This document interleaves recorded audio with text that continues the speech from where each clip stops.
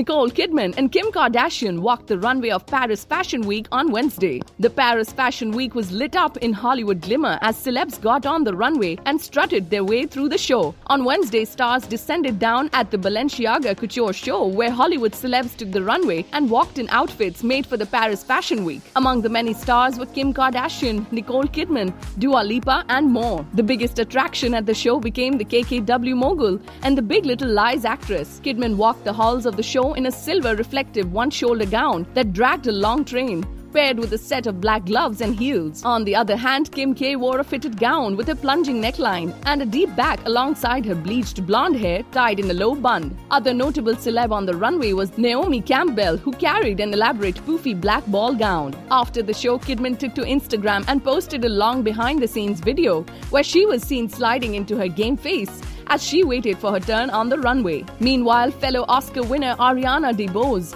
commented, Work, get him, sis. Kidman's walk received mixed reviews as fans commented, lol, only Naomi and the other model look good. Though some criticized her walk, there were those who picked up the theatrical undertones of the vibe. As one commenter said, Nicole walks so theatrically. Subscribe to our channel for the latest celebrity updates. Like, comment, and share. And don't forget to press the bell icon for notifications.